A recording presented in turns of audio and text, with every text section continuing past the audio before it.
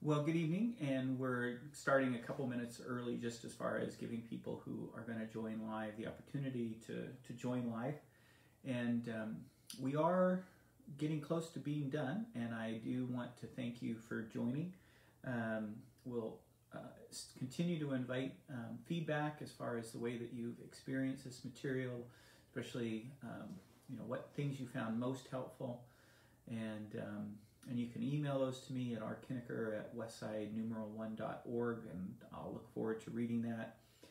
We're going to have one more um, discussion, um, and I'm going to try to live into the, the thought of Kathy Sands of kind of moving this into you know a, a more concise statement of kind of in, in, a single in a single talk how to kind of put all this stuff together um, I'm looking forward to the opportunity of doing that. Today I'm going to explain a little bit um, the really kind of we've, we've been dealing a lot with theory and so how do we move from theory to um, interiorization how, how, do we begin to um, try to actually cultivate humility we have a bunch of ideas um, but the goal is is to really have a transformed heart and um, and to have this virtue, this characteristic of Christ, um, begin to be a characteristic of ours. So, um, what was I going to say? Um, well, one thing is, um, you know, if if you've missed something, you know, there's the opportunity to go back. The easy way to, to do this is to go to the website and look under videos, and it'll have, once you click on the tab for videos, it'll have the cruciform way, and then those are, are all listed out as far as dates and things like that. Um, it is 6.30, and so um, we're going to begin. Um, you know, I, you know, there's a little bit where, um, you know, coming into the night, you know, I'm looking and um, I haven't shaved yet. Um, and uh, my hair is a little bit blown because I, I, was out and I was getting my exercise in and um, uh, continuing to try to get 10,000 steps in a day. And I did it, so that feels good. Started early today, going late today. Um, but, you know, this is you know, this is the part where living our life, following Jesus, it's about passion. It's about um, finding a reason where you want to get up early and stay up late and, and realize that things are making a difference. And humility plays into this this attitude of wanting to serve and put yourself in a position to help others. It's it feels right. So, uh, doctoral project, you, you have an idea, you're going to test it. Um, and my idea was is that um, a leadership cohort um, would be um, an effective means leaning in on the Christian tradition, um, the work of the Spirit, uh, biblical teaching um, to help cultivate humility. And so that, so, you know, reaching way back as we began this talk, um, you know, I, am I'm, I'm testing this thesis.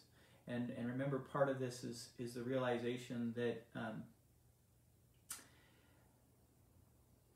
as far as um, there is no known clinical intervention, um, and, and here I'm using kind of the language of psychology, as far as, as practically saying how might we help people develop humility.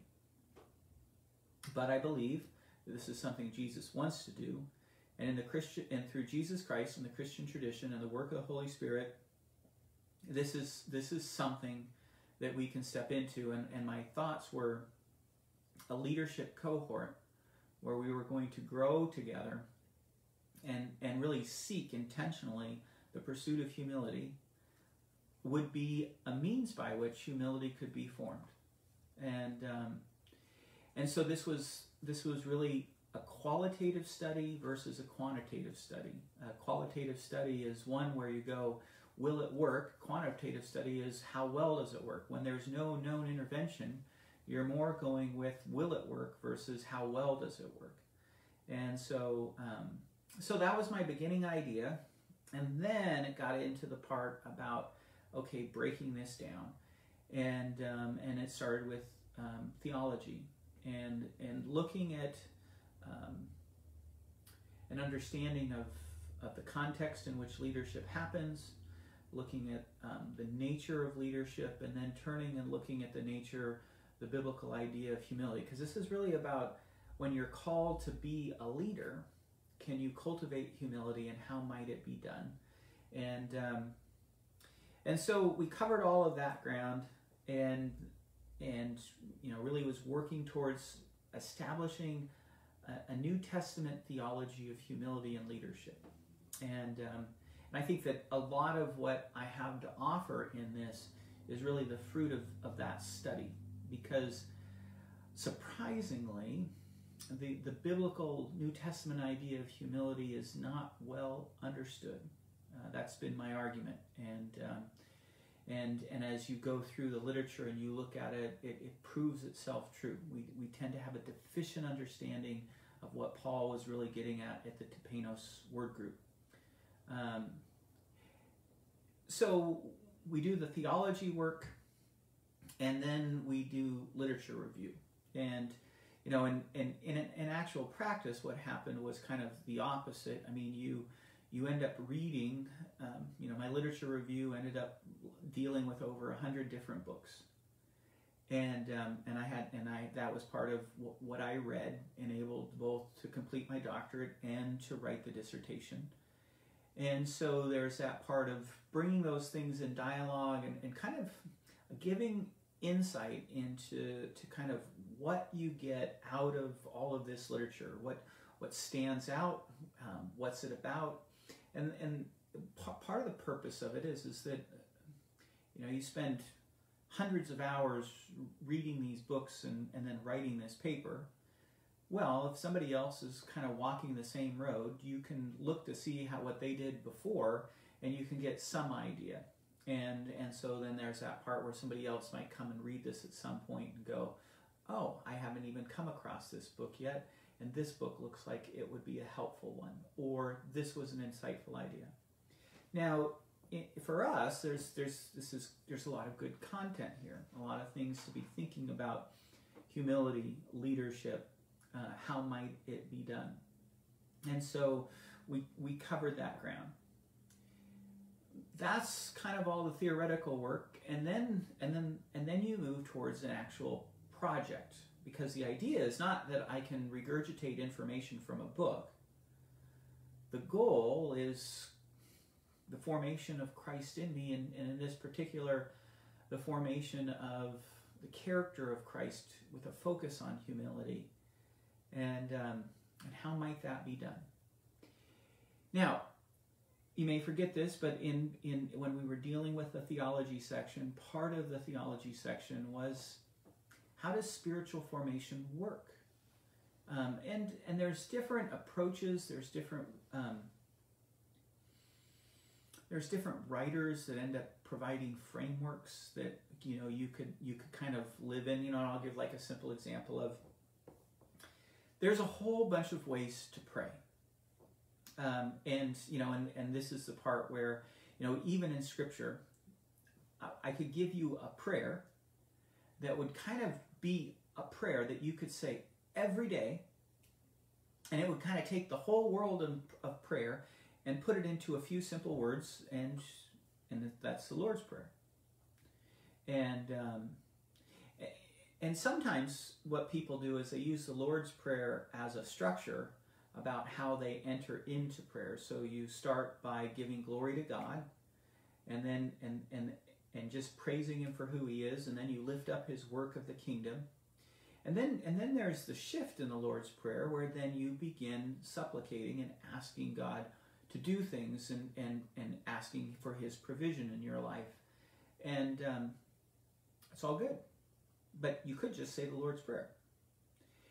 Or you could turn to the Psalter, and there's 150 prayers, and this will kind of take you into the big land of prayer.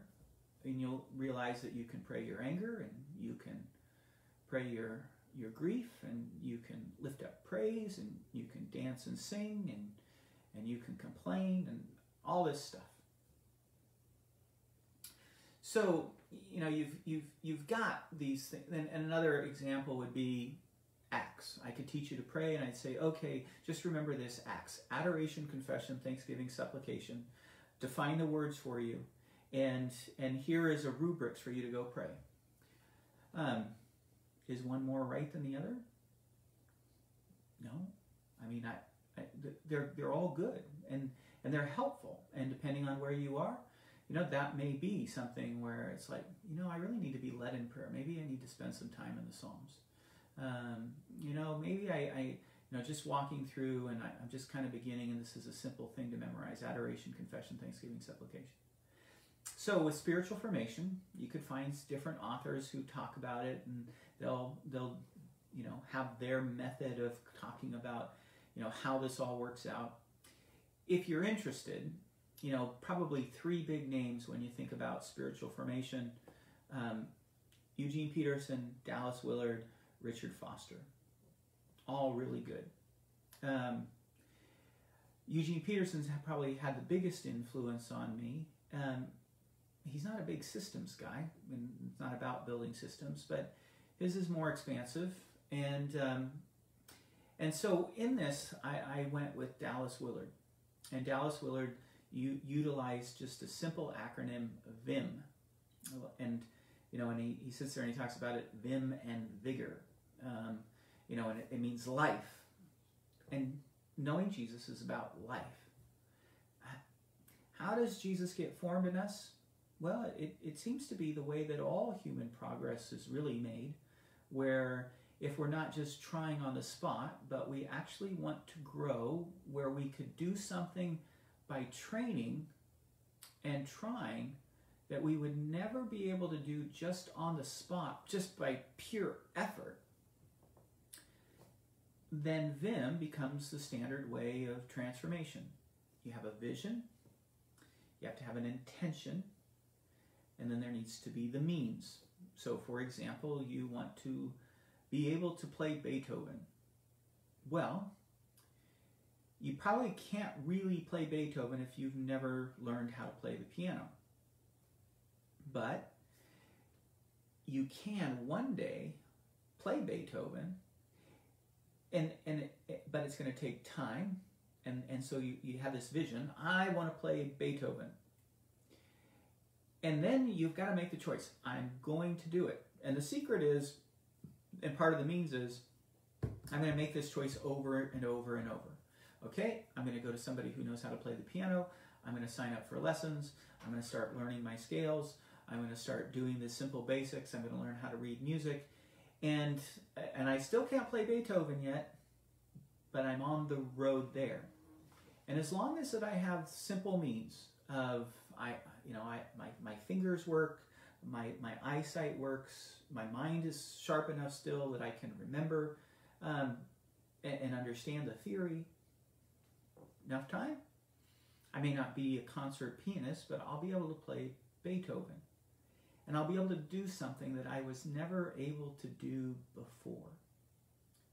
So I find that a simple, helpful concept that I carry around with me. And I use VIM, vision, intention, means. Now, when it comes to the formation of Christ likeness, I, I and I, uh, I absolutely appreciate Willard for this. The primary means of transformation in the Christ likeness is the Holy Spirit. This is spiritual work, and it's what the Spirit does in us. It's what He wants to do in us. But it, it's much easier when we participate. Um, and and I'll, I'll, I'll, say this: it's one of the. I think it's an important dictum. Grace is opposed to an attitude of earning not effort. Um, when we think we have to earn God's favor, we're missing the mark of, of all of this. Um, it leads to a legalism, it leads to judgmentalism, it leads to guilt. but effort is not opposed to grace at all. I, want to work with all the power that God gives me towards the goal that He's called me. That's biblical. That's that's that's that's actually gives assurance. That's that's really what God wants to form in us. Our hearts beating with passion. Um, so it's primarily about the Spirit's work, but you and I have a part to play. And and this moves us into the idea of spiritual discipline. So I'm I'm using this framework, and I say, okay, this is going to be really about spiritual transformation but how might it be done? Uh, uh, with, with people, towards humility. And, and one of my convictions, and it was getting, it, it came early on, is um, the idea of sitting there saying, this is this really if this is going to be effective it needs to take place in community it's a social virtue um, and and you know and so this is the part where it's like okay and this is why, in my thesis, a leadership cohort. A small group of people, all with some experience of being called into a place of leadership. And, and, and here I want us to intentionally define leadership broadly. One of the people in the group, primary place of leadership was in the home as a mother. That's a call of leadership.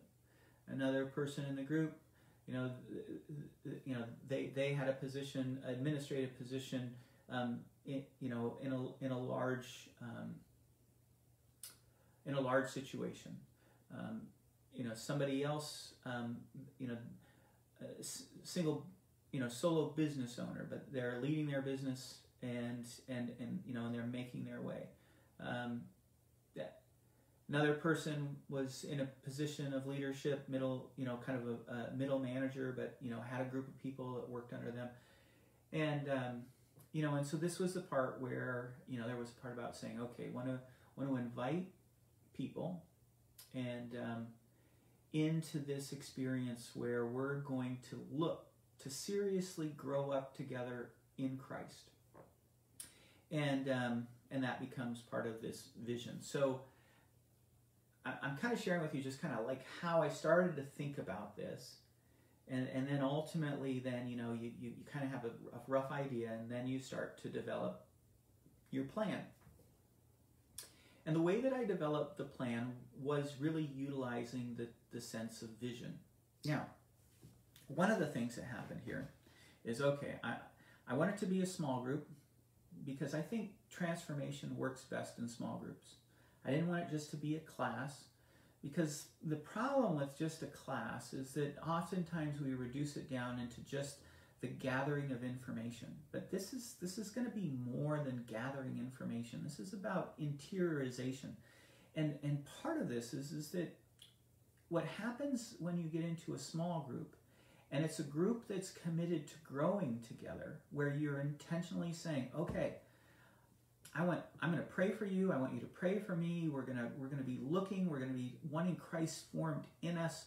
We're, and and we're going to be sharing and it's going to move towards accountability.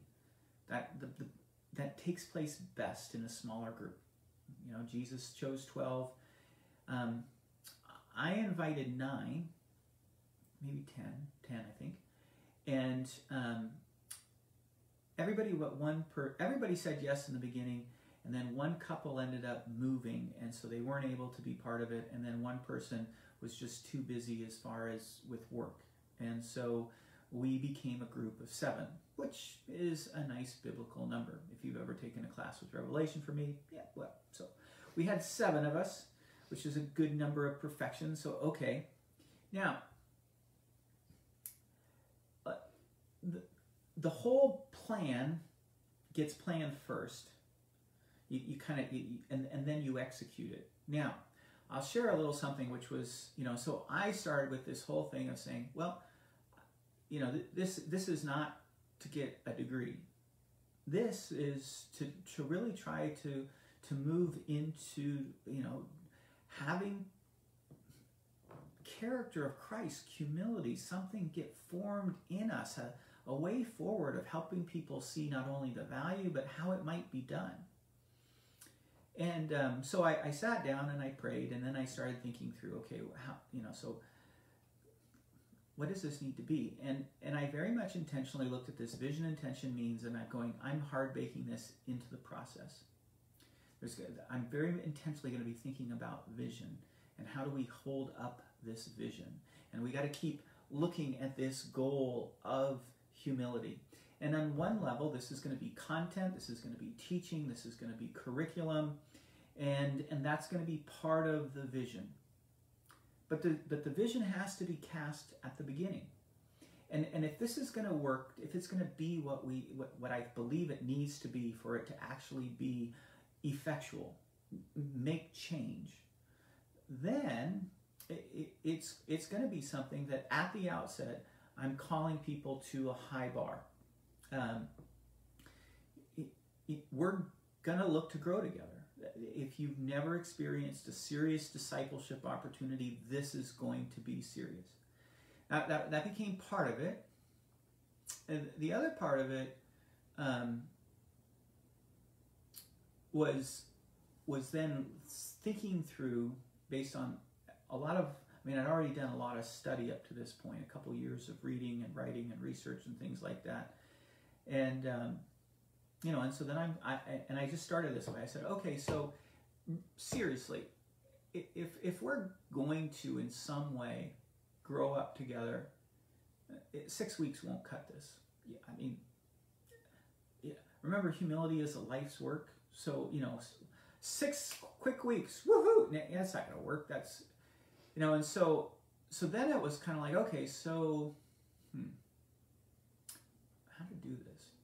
Now, one of the things that had happened is that I, um, in leading up before I got here, but while I was doing my doctorate, and but but really this had to do with work at the church. We're, we're working on our strategy of discipleship. How do we help people go from being an unbeliever to somebody who who is maturing in Christ and realizes that God's calling them to come back and help other people who could even be an unbeliever move forward in their relationship with Christ.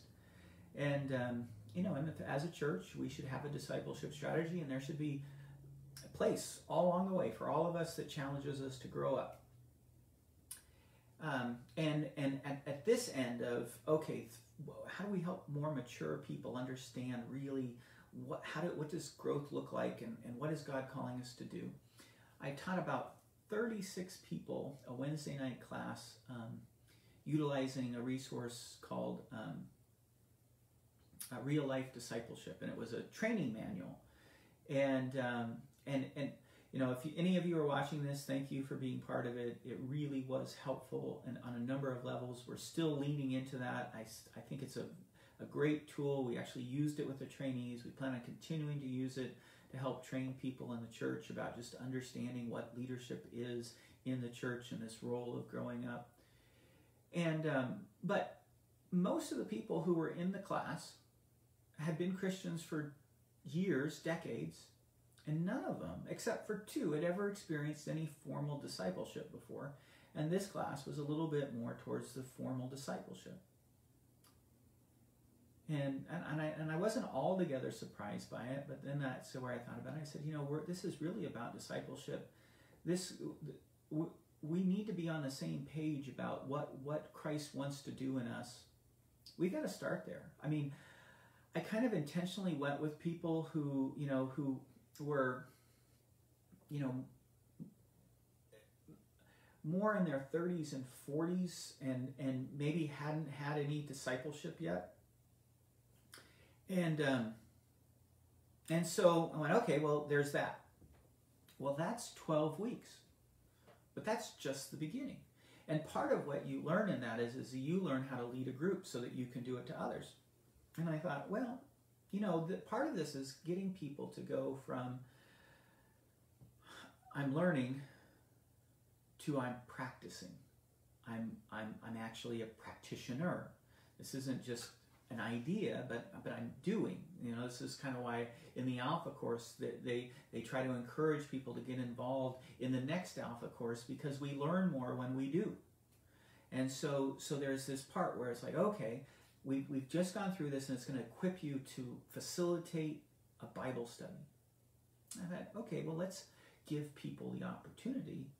And, and part of this is coming to understand the biblical idea of leadership. You know, what, I want people to kind of go, okay, what does it mean to be called to be a leader and pursue humility? And so every person was given an assignment that for one week they were going to prepare a lesson where they chose a passage that dealt with leadership and they were going to lead the group time. Um, now, a couple things are going on in my plan. Vision. We're getting content. We're learning. We're growing. We're having a sense of clarity. This is what leadership looks like. This is what humility looks like. Right now, we're just getting the idea this is what spiritual growth looks like. This is what leadership looks like. But in the midst of that, there's also then intention. You choose. You choose whether or not you go that week and you do the homework and you work through this booklet. And see, and I chose something that it really required work. And and you know, and and you know, you as the leader have to be willing to do it. But if but if you're setting that vision and and and then you know and, and you're saying, okay, this is what we're going to do, and this is going to be, I think it's going to be significant. And, you know, this is the part where we're really going to look to grow together. But but it's going to be up to you to really choose it. Now, my group was wonderful. They were in, they were they were into it. Um, they were willing to do that, and and then what happens is is okay, you you did this. Now you're starting to now take it even another level because you're going to lead at times, and um, it's going to put you on the spot. But it you know, and but it kind of are are you in? Will you do it? Yes, you do it. And then after looking at spiritual growth, understanding discipleship, leadership, now we're going to deal with humility. And and and obviously I'm to I you know I, I'm to teach this. I've spent a whole bunch of time and and you know and and and here where I want to make sure they, that they get the content and understanding. And so so but the kind of the same sort of format. We modeled it. Um, might have been I, I kind of think maybe even a little bit of a mistake I made is is that you know, I allowed the modeling that came from the real life discipleship, and I probably would have probably been more helpful if I had created a little more written curriculum for them instead of just kind of following the model of how they led the group with the leadership issues. But you know, you learn and, and go. I, I'm probably change that next time, as far as trying to quantitatively make the experience better. Um, now, I'll, I'll shorten this part up. So I'm sitting there and I'm thinking through all of this. I'm writing my curriculum. I didn't start with, and I want to do it in 12 weeks or 6 weeks or 8 weeks or 14 weeks or 20 weeks.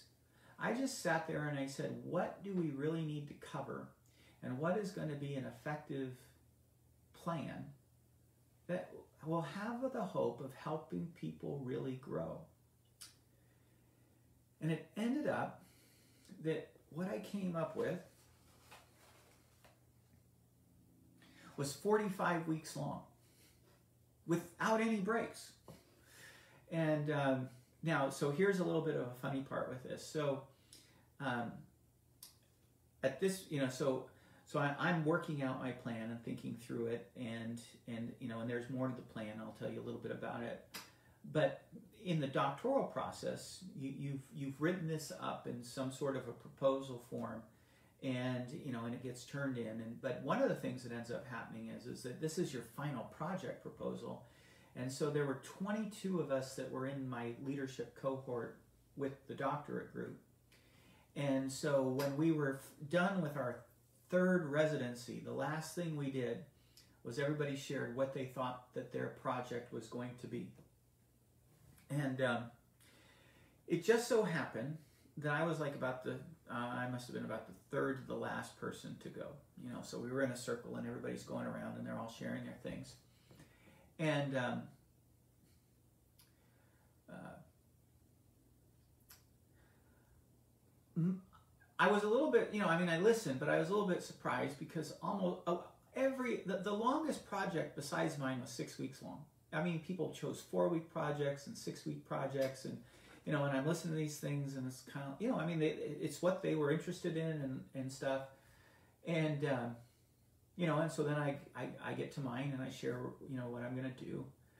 And, and, and they were, and, and people were just like, 45 weeks? Who's going to sign up for 45 weeks? This, you, I, you know, and, and Jim's kind of like, well, you know, I mean, the thing is, is you, you, you come up with a project, but you don't know how it's going to go.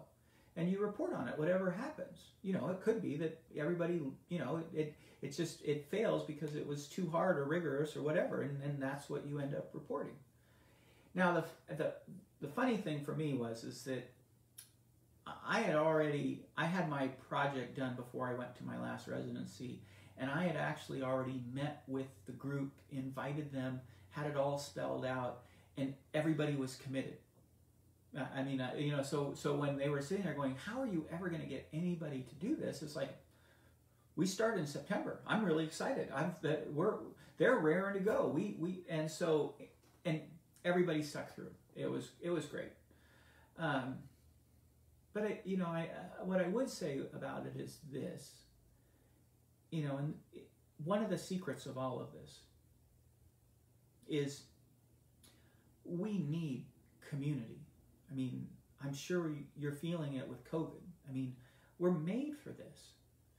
Now, it's really good to be in a community and it has a strong sense of vision and and and you have a sense of hope and a desire. I mean, that's the part where you know, I, I mean, a 45 week commitment isn't for everybody. But if you get invited to be part of a group of people where you're going to share life together, you're going to care for one another, you're going to pray for one another, that's what life groups are. And it's really good. And God works through that, He works in community. So, the vision, here we go. Now, uh, to, to kind of finish out a little bit, so we're going to learn about leadership, we're going to learn about humility. And then the next big thing was having the opportunity to introduce to people the idea of spiritual disciplines. Spiritual disciplines are, are can be a very good thing, but oftentimes people end up getting taught spiritual disciplines or modeled spiritual disciplines in such a way that you really miss what the Holy Spirit is trying to do, wants to do, and it becomes legalistic, it becomes oppressive. And so, part of the curriculum was we read Dallas Willard's book, The Spirit of the Disciplines. And, um, and it culminated with the idea of, of I, I then introduced him to um, John Ortberg has a chapter in a book, The Life You've Always Wanted, and it's developing your own rule. And, and this is you know, this is very much modeled on, on looking at the wisdom of monasticism, a very intentional, communal experience in Christ, very covenantal, where you're, where you're banding together to grow up together and, and you're going to create certain rhythms that will enable God's Spirit to be at work to form Christ in you. And, you, and you're going to encourage and pray and work and, and call one another your, to your best selves. And so, and, and within that, that was a part of, okay, so look at, you know, look at these sorts of things that Christians have done over the years that create pathways for Christ to work in our hearts and changes. Scripture reading, prayer, worship. And, um, and so, you know, we, we, we looked at the idea of spiritual discipline, the idea of training versus trying on the spot, understanding it's really a work of grace. And then it's time for you to make another decision. Intention.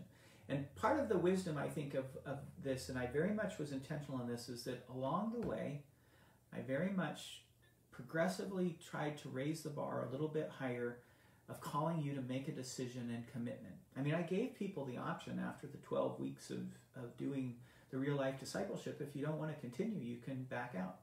But you know, this is the level that we're we're we're digging at. We did this from eight to ten o'clock at night on Tuesday nights.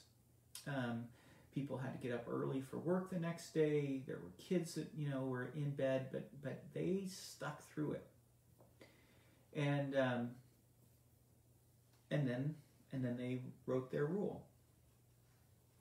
And and the rule was kind of like, okay, where are you at, and what would be some rhythms that you could try on that would allow you to practice and train so that the Holy Spirit could have his way and help form things. Now, here's one of the things that happened that I, I wasn't expecting. I designed the project. This is very much going to plan. And then we got here and then and then I experienced something. And what I experienced in the midst of it was you know, we're, we're all in different places in our relationship to Christ. And I'm feeling called to cultivate humility. But maybe that really isn't the call that Christ has on you. I mean, one of my things is, is that I do not lack confidence. It's one of my strengths. I have this thing called assurance, and I just don't. I'm, I'm re, I really don't worry much. And and ambition is something. I'm an achiever. I want to do things, and so you know, I so humility for me is very much something I I am I am consciously pursuing, knowing my weaknesses. But not everybody's like me. And so as we're getting into this, and, and we're in this group, you know, and, and it's really about what does Christ want to do in your life right now? You know, it got to the place where I just told people, I said, you know, when you think about coming up with kind of a rule as far as a rule is a a standard, some rhythms, some spiritual practices, don't worry about humility. Just do what you feel like God's calling you to focusing on. Could be intimacy. It could be, um, you know, having um, compassion be something. You know, so so that's that becomes the part where instead of just okay, everybody's got to do what I want you to do. It became the thing of, and and in this, it's it's it, it was being pushed by the sense of humility at the end of the day, you know, I, I, may not get the same information that I was hoping for from everybody in the group about, you know, how this helped form humility. But in the midst of it, it's like, well, maybe maybe humility isn't at the top of the list for everybody. And um, so that was the decision that I made. And nobody else actually chose to pursue cultivating humility. They chose to pursue kind of what was really, you know, their issue where they felt like God was saying, here's where I want you to be conformed and formed into the likeness of Christ. And, and, and then and then it became the part where I was like, okay, you're, you're gonna you need time to try on the practices that you're doing. You know, some people, one person said, you know, I want to practice solitude, and I'm and, I, and I'm going to regularly cultivate and pursue getting away a little bit each week and, and having this space where I can just be with God by myself and, and have that. You know, and they read a book on solitude and, and they pursued it. And we encouraged them. And they came back and they shared. And so that, that takes time. So now we're going to start sharing about how our spiritual habits are but but we're going to continue to grow together as as that's kind of this now new thing and there's a choice to make. You could just ignore it but if you if you lean into it if you make that choice as well uh, well i think it, i think it's opening up more of your life. It's another place where you say jesus is lord and i'm following him and i'm going to become more intentional and i'm going to become more committed i'm showing my commitment i'm showing that decision I, i'm choosing it today and so then we continued then with some more study and we started looking at the issue of leadership again. And we, we read a book uh, by Bill Robinson, which I've talked about, which is um, uh, The Incarnate Leader. And then we analyzed that book.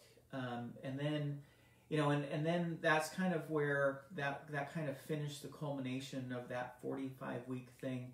And people then gave a report about just kind of what the experience was and, and stuff. And and then that group decided that they wanted to stick together.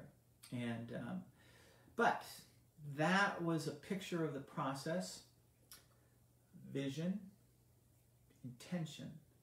Intention isn't something you do just once you, you got to choose i mean really for habits to be formed it's something you choose every day you get up, you give glory to God, you, you pursue Him, you put Jesus first. Um, you know, and oftentimes the way that people do it is, is that they commit a certain time to pray, they read God's Word, um, they learn God's ways, they, they practice simple obedience. So, vision, intention, means. The first thing was uh, the very first thing that we did, and I haven't told you about this yet, is I invited everybody over for dinner. And um, we barbecued, and uh, people were able to bring kids if they wanted to. Um, and um, you know, and, and I had the house set up for a party. Um, I had music playing. We ate good food. We talked. We we laughed. We shared. And towards the end of it, I shared a little bit about my vision about what this group could be and how we could help each other grow. And at the heart of it, and this is again the means, the curriculum has a place. But the means is primarily going to be through community. It's going to be through the sharing of our life. It's going to be becoming friends. It's going to be opening up and getting to the place where you and I, you know, we, we, we actually are getting real with one another. Because in order to make progress in this, in, in some way, there, there needs to become a level of transparency. So so that was the first thing, just setting the mood, the temperature, um, having it be in a house, around a table. Eh, I don't invent this stuff, right? This is learning from Jesus. This is what he did. Um, and it's about saying, you know, it, this isn't about us spending an hour a week together. This is about us sharing our lives together and being committed to one another. Means a regular meeting time, doing your homework, um, coming prepared. There's a difference of quality when everybody takes time and they come into a discussion and they've thought about it and they've prepared and they've studied. Um, I, you know, I've I've been leading lots of groups for you know decades now, and you know, and, and I'll work with everybody. But when when you can get a group to finally really get on board with coming prepared, looking to grow, um, it goes a long ways. Means regular meeting time, praying for one another, sharing life together. So there's the curriculum that we do, but, but then there's the life that we share. Um, and and as a leader, not being just concerned about your agenda, but listening for the Spirit. So one of the things that I learned, one of the things that happened that that I think made this group happen the way that it did is you know we're we're we're, we're just getting started and we're working through this real life discipleship training manual and I was like, you know, we we if we're if if we're going to get in we we need to know each other a little bit more. And so I proposed an idea. I think it was the first week. This was all intuitive at this point. This is some of the stuff where, you know, you, you get into it, you, it I, I think that this project is repeatable but if you've never been a life group leader before, then then you probably would need some training in order to pull this off. Um, but I'm sitting there and I'm kind of feeling things out, and then I, I said, you know, I, I, have an idea. What if what if at the beginning of of our our next meeting together, one of us shares a little bit of our life story with the group, um, so we can get to know each other better. You know, we've committed to growing together, and, and part of really growing together is knowing each other. And um, now, if you're if you're a leader, part of leading is is that you you help set the temperature of the room. The speed of the leaders the speed of the group. And i it was my bright idea so i volunteered to go first. And um, and and i shared. Wounds and hurts and pain and and uh, and, and about my life and then the next person shared and they shared about wounds and pains and and and we went around over seven weeks and every person in the group ended up sharing. And what we realized is is that we all of us are carrying wounds and hurts that you know most people wouldn't even be aware of just looking at us on the surface. And they profoundly shaped us and and and, and it was one of these things in doing that that it, it got us deeper quicker than i've experienced any other group i've been in and, um, and, and that's grace. That's the gift of the Spirit. Christian communities being formed um, means the Holy Spirit. Um, this is His work. Uh, it, it, means listening to it. It means having a plan but letting God interrupt it. It means thinking that everybody's going to pursue humility and then realizing that when you get there, forcing people to all choose humility as the thing that they go after wouldn't be humble.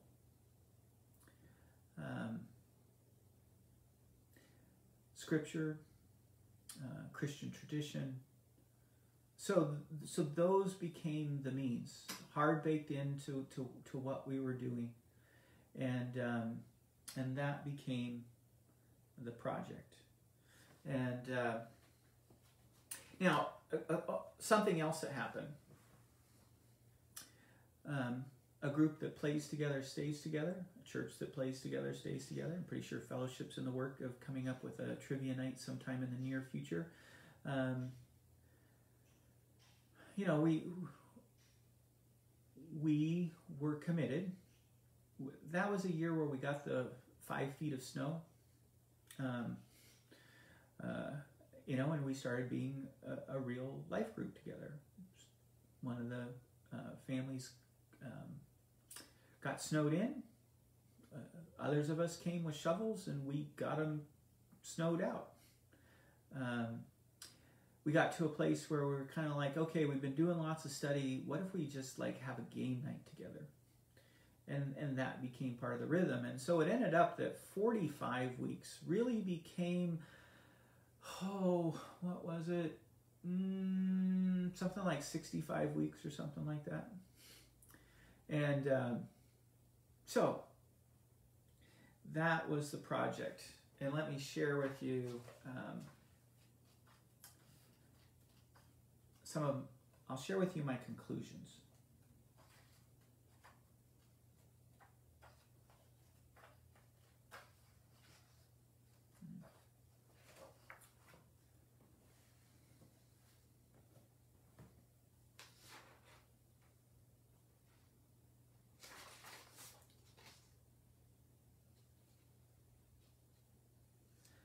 I'm going to start with this and um,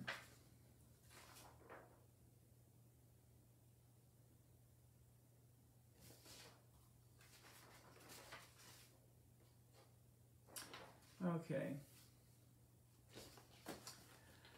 Uh, I did one of the things at the end is is everybody filled out a survey. It had quantitative and qualitative questions. Um, this was a qualitative study, but know, I still wanted to give some input about their experience of things. Um,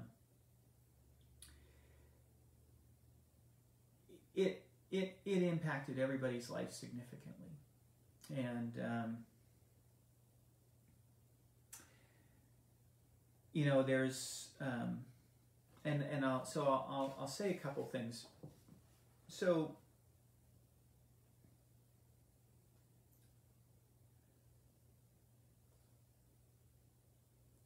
The survey ended with four open ended questions to allow people to share whatever they felt needed to be shared.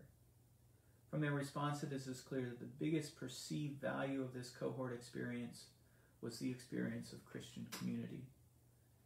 Dietrich Bonhoeffer's insight, the physical presence of other Christians, is a source of incomparable joy and strength in the believer was proved, was proved true in our fellowship. When asked if they if you had it to do over again, would you have made this commitment to be part of this experience? Why or why not? The unanimous and overwhelmingly enthusiastic response was yes, yes, yes, absolutely 100% and definitely. It was not simply the value of friendships in the group, but also the perceived growth in their relationship with Jesus Christ that made this cohort experience significant. That's what they said. Um, now, I, I did a survey, and then this is a qualitative study, and so then there was I, I gave reports about the survey. I, I won't read that because I don't want to tip the hand about that, but um, I, I will share observed impact. This is my observations about what happened. As soon as we started sharing our life stories with authenticity and vulnerability, which was weeks two through nine, including wounds and difficulties we had all faced, I was excited about the possibilities of how God could use this group to help catalyze growth in each of our lives. Um, one person was battling a health issue, um, and that is something that could have really broken the group. You know, the person has to step back, and now the group shrinks, and um, but the person didn't, and that entire experience helped the group draw, draw closer together. Humility, of course, helps with this. Humility helps train us to serve. Of course, we'll serve, flex, accommodate, and help. That person going through that meant that we all ended up in practice making some adjustments because we wanted this person to be part of the entire experience and to, and to help them go through what they were going through. Gathering to help the family as they struggled with all of the different things, shoveling snow, um, you know, and it, it becomes the actual experience. It's privilege. Of course, I want to do that. It's it's joy. Uh, some small thing to help somebody going through something really difficult. There was also fun and there was fellowship. Um, we saw growth not just in study and discipline, but people expressed emotional and spiritual healing, increased passion for Jesus, clarity of purpose, and a greater faith in God's faithfulness. While all the other participants did not form habits to pursue humility, they did form a solid biblical understanding of humility. The focus on growing as leaders was also important and impactful. Um, as the only participant who intentionally directed the formulation of a personal rule towards cultivating humility, I can affirm that this leadership cohort project can be a valid path for pursuing humility. Again, I believe that if we really ask for and pursue humility, this is a prayer that God wants to answer in our lives. At the same time, I'm more convinced than ever that this sort of intentional, disciple oriented small group experience, which holds up a biblically faithful vision, calls for decision, keeps in step with the Spirit, is informed by Scripture and tradition, it will work to form Christ in his people. It'll help to form love and joy, peace, and even humility, but also kindness and gentleness, self control, grace, and faith. The fruit of the Spirit will be manifest. Report on my anticipated outcomes. It was my expectation this would be a transformative experience with participants affirming the positive value of this experience, helping them grow as disciples of Jesus. This was enthusiastically the case. I also anticipated that trying to create accountable, accountable community would be an important catalyst for perceived growth. I think my, my findings helped to support this anticipation with qualification. We failed to become as accountable to the degree originally envisioned, especially with regard to the formation of habits. At the same time, there was an overall culture of accountability. Everyone took seriously participation, sharing, preparation, and trying to live into what we were learning. I expected that the biblical teaching on humility would transform participants' understanding of the virtue and how to pursue it. I would say that this project demonstrates this to be mostly true, Participants' working definitions support that they now have a deeper and richer understanding of the biblical idea. Their expressed answers also indicate they have a clear idea how to cultivate humility. But because participants do not practice habits with the expressed desire to cultivate humility, there is less qualitative data to answer the question more definitively. I also anticipated that this experience would help us grow as leaders. I think this was proved as well. But again, the evidence was a qualitative assessment helping to answer that this leadership cohort model is a fruitful path for cultivating leadership. Finally, as anticipated, the practice of spiritual disciplines proved difficult, but the practice helped people reach a new level of commitment in following Jesus. It is not easy to be formed into the likeness of Christ. Um, and you know, and you and I are going to struggle, and there is a part in us that resists it. Um, and and so this work of character transformation is tough, but it's also good. And and it's a goodness that you can feel and know. And so the most important things in life usually aren't easy. And um, and being formed in the character of Christ isn't but it's the most important thing that actually happens for us. Something that I did not anticipate was just how profound the experience of Christian community is for making this experience work. Yes, content is important, but it is when the Word is made flesh, when the Spirit breathes His Word into our hearts, when we experience the unity of being the family of God, that ultimately we move from studying merely written words to becoming living epistles. Um, it's an illusion if you're not aware from 2 Corinthians 3 3. You show that you are a letter from Christ, the result of our ministry, written not with ink, but with the Spirit of the living God, not on tablets of stone, but on tablets of human hearts. Um, I gave ideas about what further research might be done and then this is my conclusion. From the outset of this project, I had a strong conviction that a discipleship oriented cohort experience would be con- constructed to help cultivate, could be constructed to help cultivate humility. It's possible.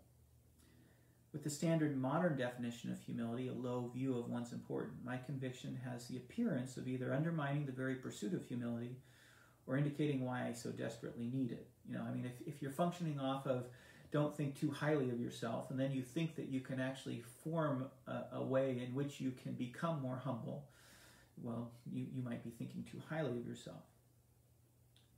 My confidence in finding a path to cultivate humility, however, was never in myself, which in one sense seems to support the common definition of humility.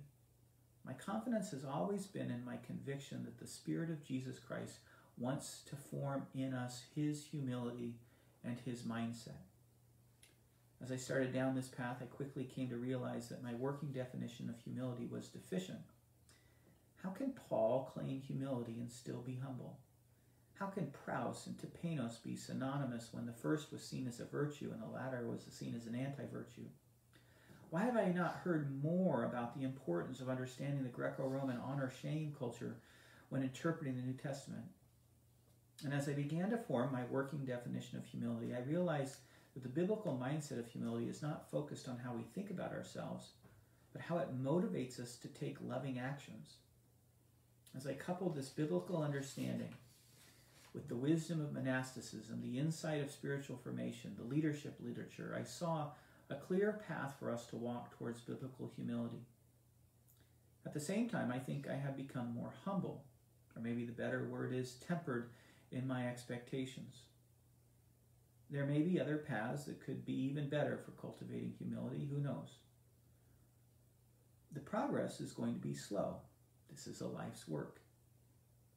Even if a leader does not intentionally try to cultivate humility, there's a good possibility humility will be formed because leadership is humiliating. Again, humiliation is not the same as biblical humility but it can lead to authentic humility. At the same time, I'm also convinced that cultivating biblical humility will have a greater likelihood if we are intentional in pursuing it. Now, I qualify it as biblical humility. One of my strongest convictions coming out of this project is the need for the church to hear the call to humility as a way of acting in love that overturned the honor shame culture of the ancient world and trained God's people to a new way of being. I believe that if we raise up this kind of humble leader, the church will inevitably move back into its proper position. The position is captured by a master, great one, who knew that all authority and power had been given to him. So, what did Jesus do with his power and privilege? He stood up from the table and raised himself to his full height. He then took off his outer clothes. In appearance, Jesus identified as a slave. What is more, he wrapped a towel around his waist and took the lowest position in the household, and then he washed the feet of his followers. Nothing like this had ever been done in all of human history. These words are to all who would follow him. Do you understand what I have done for you? No, I really did not understand. That's my answer. There was too much time and history for me to comprehend what Jesus was really doing there. then again, even Peter and the others did not understand, at least not right away. You call me Rabbi and Lord, and that is correct, for that is what I am. Now that I, your Lord, remember that Rabbi means great one, your Lord and great one have washed your feet. You also should wash one another's feet. I want you to follow my leadership. I want you to exist in my ways. I've set you an example that you should do just as I have done for you. And Jesus literally said, Amen and Amen. This is really important, so listen to what I am saying. No servant is greater than his master, nor is a messenger greater than the one who sent him. Now, if you know these things, you will be blessed if you actually do them. That's how I ended it. So, 7.30, kind of hit the mark just where I was hoping to. Um, we'll be back one more week next week, and um, thank you, and God bless. Good night.